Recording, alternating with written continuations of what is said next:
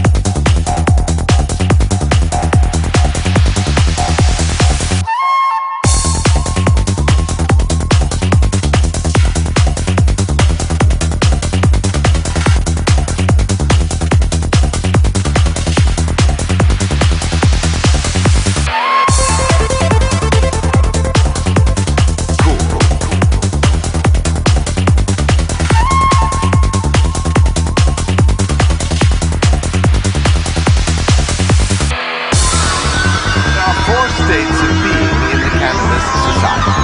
Cool, groovy, hip, and square.